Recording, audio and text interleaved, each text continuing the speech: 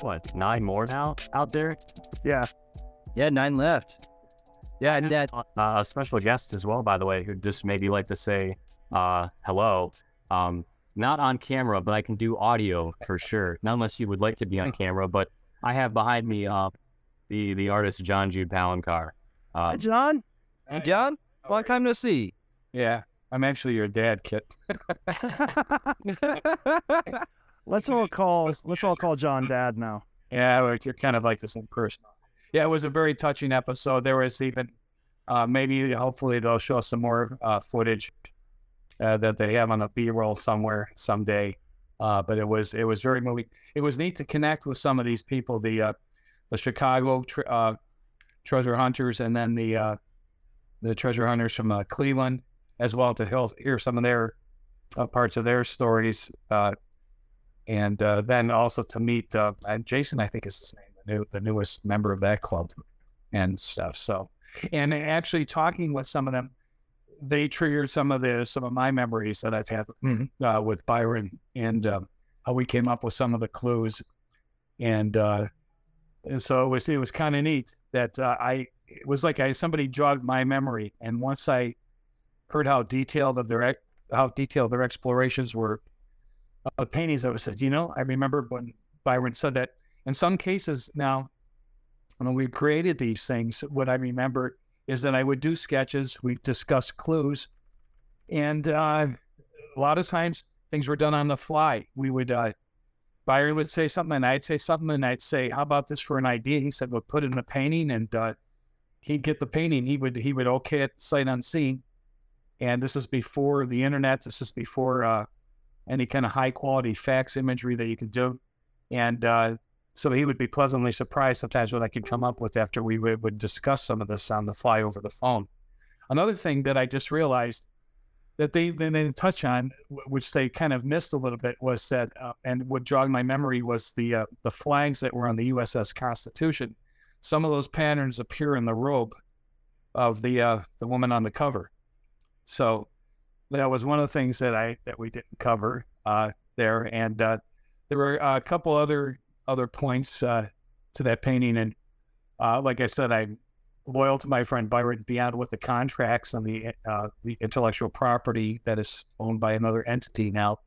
Uh, you know, that's still active. The, the treasure is still still active, and uh, but it's kind of somewhat separated between the Preiss family, I think, and the uh, um, the present owner of the IP.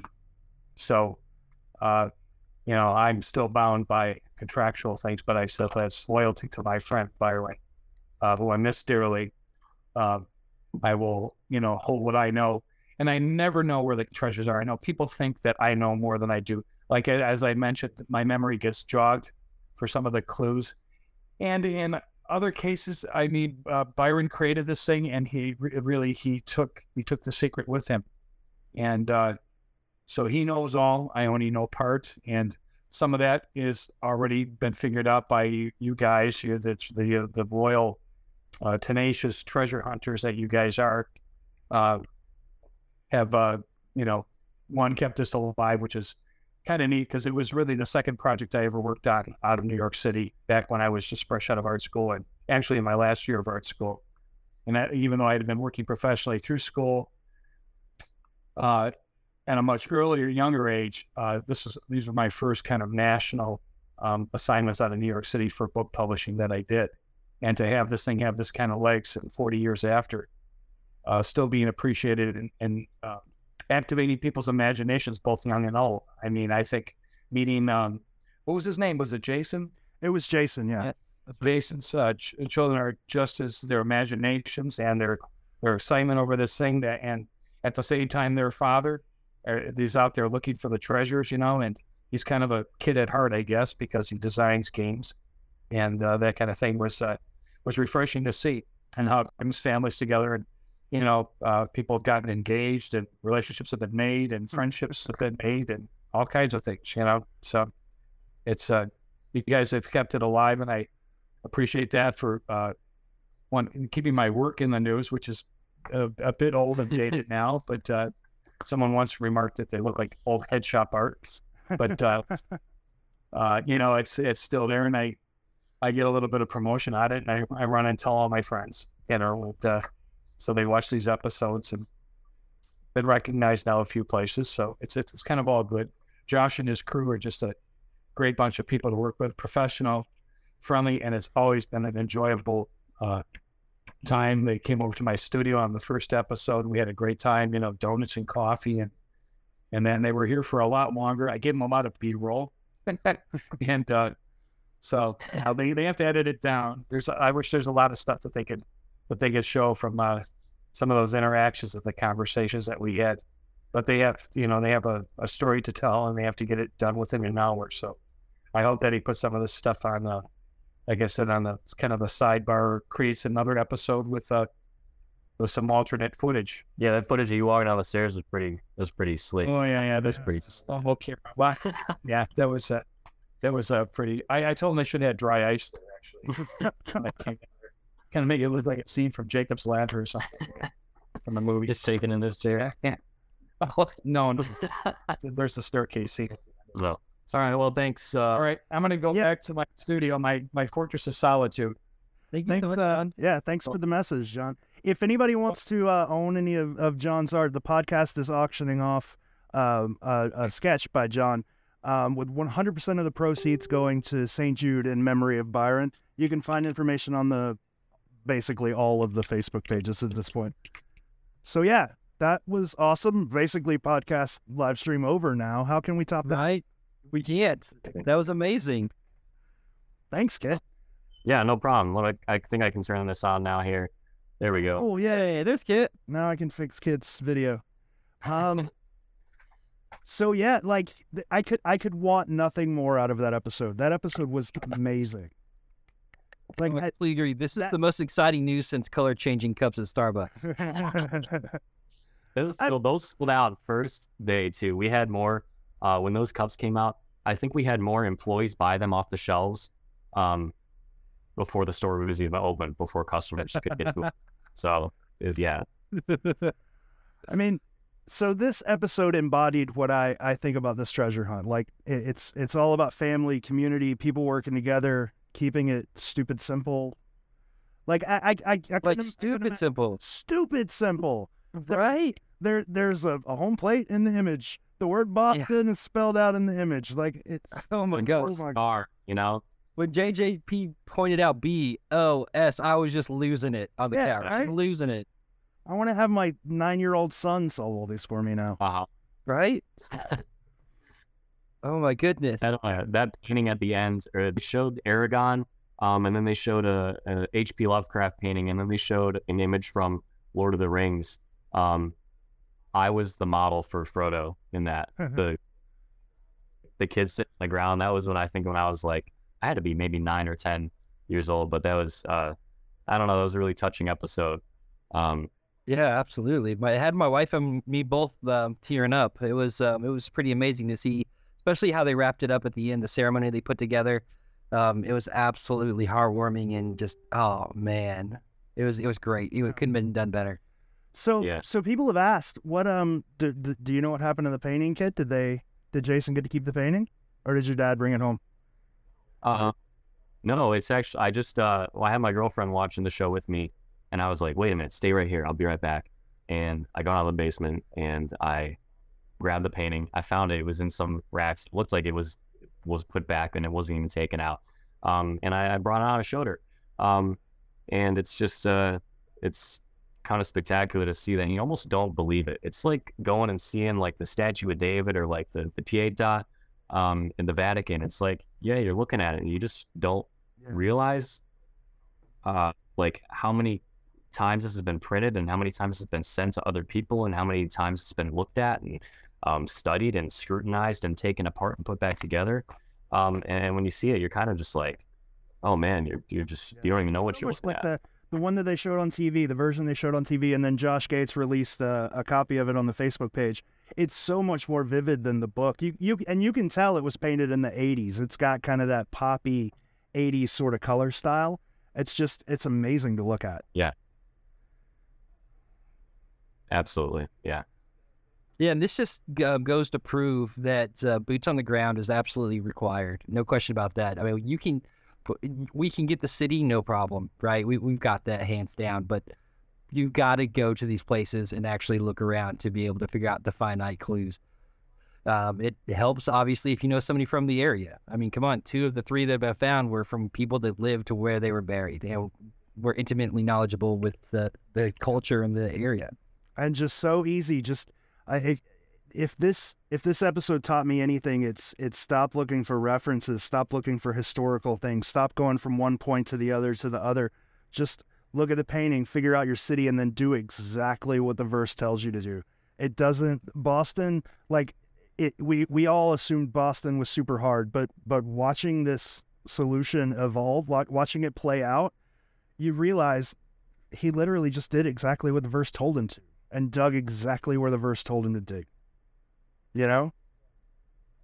Yeah, absolutely. If if anything, the uh, the paintings are far more straightforward than we ever thought they were, and the verses, while they do have some play with them, aren't as playful as we yeah. may have originally thought.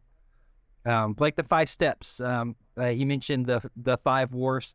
I was like, eh, that's a stretch. And then one of our community members posted a a map of the wharfs in that area, and there's ex- they're actually already. I, I don't have a firm understanding of wharfs, which again is what I mean by if you're there in person and you live there and you know the culture, you're, you have a head uh, a one up on everybody, and so on the map you posted, it actually it's already divided up into five wars, yep. and that's at the fifth war. I mean that is what it is. Yeah, makes sense. Uh, I think I think that some of the other um, uh, paintings too, like uh, the the figure as a as a witch. You know, starting to identify what the the figures are doing. I'm I'm looking at the uh, the the Saint Augustine image right now, and I'm like, hmm, horse on a rock. I'm like, is there like a horse on a rock somewhere no. in Florida? You know, that could do it. Uh, you know, it's like this very literal thing. I like how you answered the question. Man, I gotta, I gotta, yeah, I got, a, I got a very glad of that. Well, of the of the uh, Castillo de San Marcos in Saint Augustine and the verse. If that ends, if that verse ends up being anywhere other than Saint Augustine, I'm gonna have to cut off my arm. Like I. so, uh, there's something I've been curious about, Kit, and you're probably the best one to answer this. Um, yeah. Uh, treasure hunters aren't generally they're they're not artistically minded sometimes. So, and I think when an artist looks at these paintings, they see things differently than when, you know, a treasure hunter or a guy who's really into puzzles sees them. Um, I, it, it kind of, in this episode, it kind of seemed like your dad's not trying to give you, like, this looks like this, so go here. It seems like he's trying to send a message with his art. Like something, instead of uh, something in the art representing something physical, it has sort of a, an artistic story. It's, uh, Yes, it's symbolism. Um, and so uh, I have a book in my studio right now that I, I probably should go grab. Um, all about symbolism. It's like these different uh, things that are depicted in artwork mean different things. Like I put, I'm looking at a drawing on my wall right now, and uh, I tend to use a lot of animals in my work, and um, uh, there, there's like different themes of religion in some of my work as well. So like a dog, for instance, represents to me um, loyalty you know, and so I'll put that in. It's also like innocence. Animals are, are very innocent. So there are these symbols that that that occur in artwork um, that one object could represent another thing. And I think brushing up on um, uh, my dad's knowledge of, art history is it's a it's a encyclopedia. It's just absolutely endless. Um, and and so knowing art history and what different um, symbols mean. Like I okay, so a thing in art history, one that I learned was that if there was a female figure with her arm behind her head like this, it means she was like either a prostitute or she was like ready to go. That was that's a symbol. So if you see that in in artwork um, from you know Renaissance um, or, or Italian art, uh, that's probably who that person is. Um, so I mean, that's that's one way of looking at it, and I, I guess another a, a tip for looking at images like this is to squint your eyes sometimes. When you squint your eyes and look at something, you see things a little bit more simply. And your dad, like, if you look at his, especially his current art, it's full of weird symbolism. You know, you can his his art almost just looking at a painting, it almost tells a story. You know, so that's that's probably the main. I way that we've been looking at these images incorrectly. And I think Chicago and Cleveland caused us to make that mistake because Cleveland, especially, is so visually descriptive. I mean, those columns are spot on, and those that that planner spot on. You know, and that's that's probably what caused us to slip up a little bit.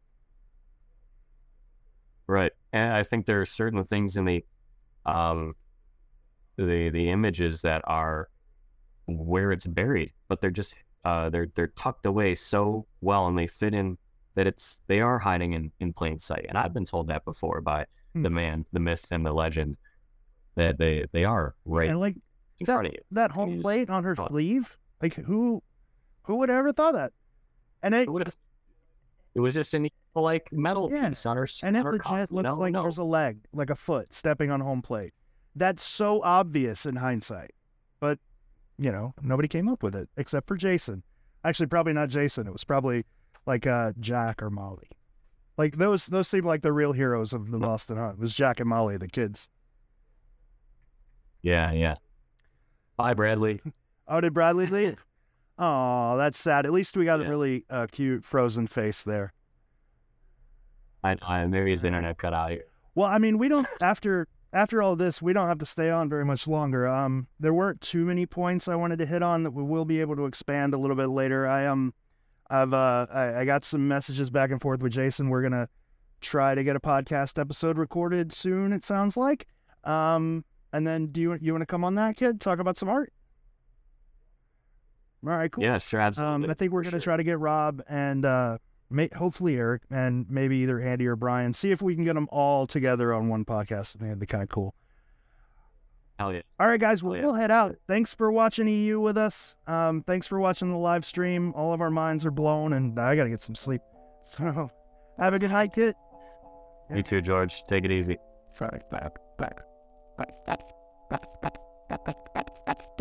That's